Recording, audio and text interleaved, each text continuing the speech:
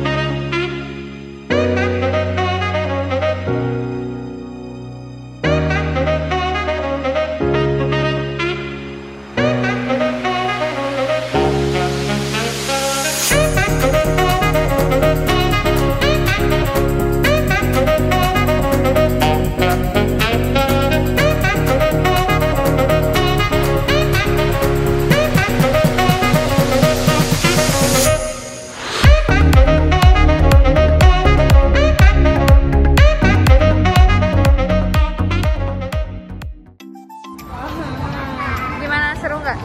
Aku seru seru seru seru pas main bola-bola tuh. Tanya kamu, seru nggak?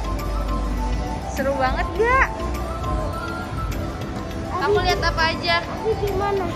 Di mana apanya? Ya udah, bye-bye dulu dong. Assalamualaikum. Jangan lupa like, comment, dan subscribe juga. Yuk kita makan terus bye bye. Bye. Bye bye.